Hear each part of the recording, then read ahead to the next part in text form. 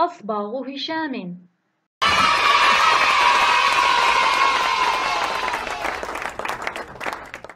سوف نتعلم اليوم يا أصدقائي حرف الغين. غين حرف الغين.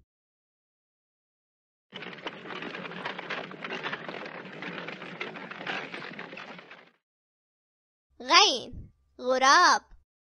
غين غراب.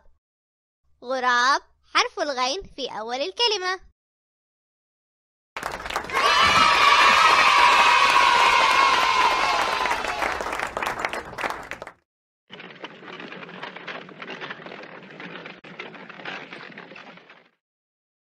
غين غزال. غين غزال. غزال حرف الغين في أول الكلمة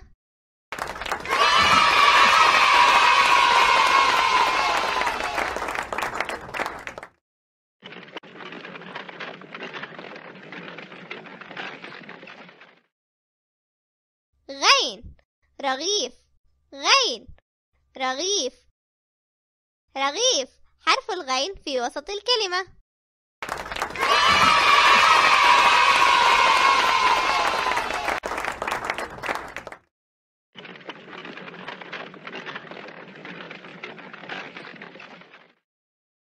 غين مغناطيس. غين مغناطيس. مغناطيس حرف الغين في وسط الكلمة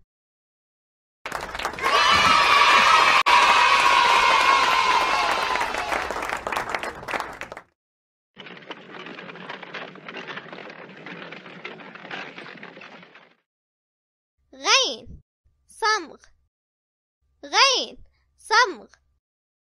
صمغ حرف الغين في آخر الكلمة.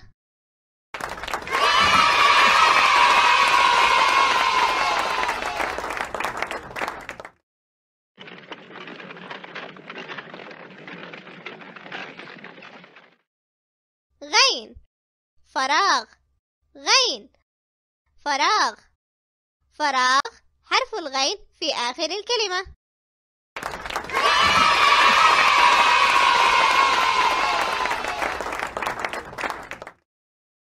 هيا أصدقائي لنكتب معا حرف الغين.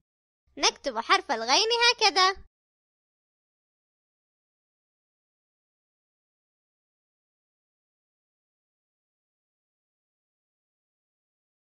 أحسنتم.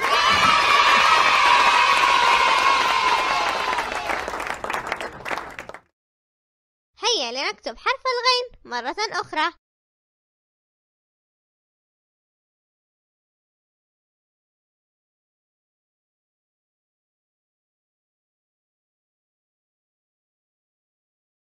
رائع. لقد تعلمنا كيف نكتب حرف الغين. أحسنتم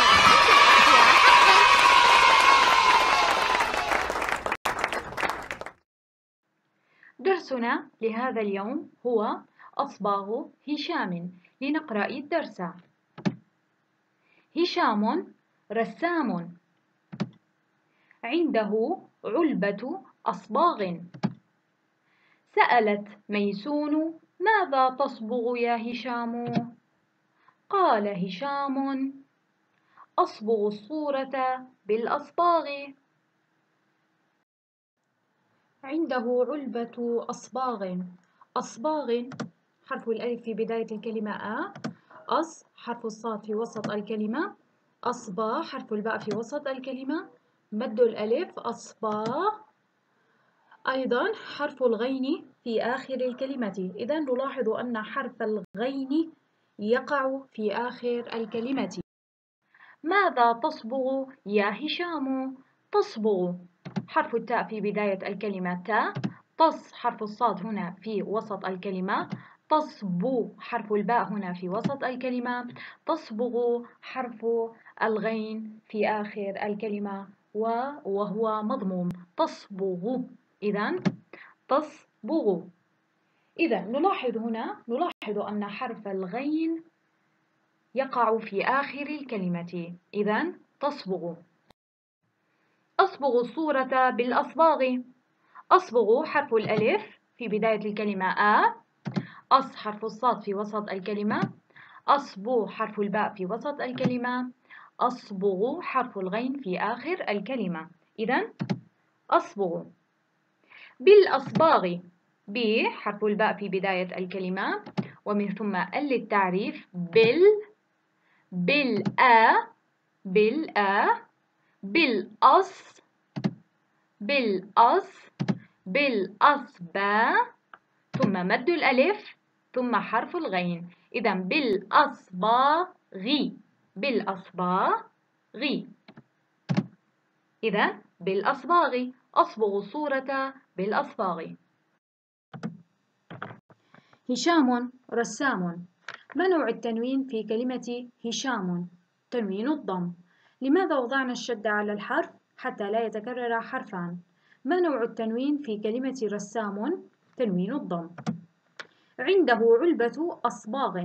نلاحظ أن حرف الهاء يقع في آخر الكلمة. عنده علبة أصباغ. أصباغ نلاحظ أن حرف الغين يقع في آخر الكلمة. ما نوع التنوين هنا؟ تنوين الكسر. سألت ميسون ماذا تصبغ يا هشام؟ تصبغ نلاحظ أن حرف الغين يقع في آخر الكلمة. قال هشام لماذا وضعنا النقطتين هنا؟ بعد القول؟ أصبغ الصورة بالأصباغ. أصبغ نلاحظ أن حرف الغين يقع في آخر الكلمة.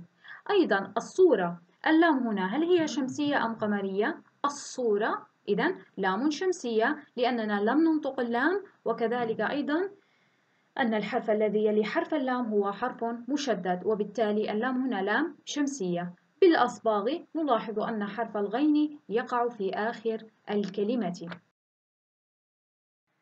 شكرا لإصغائكم.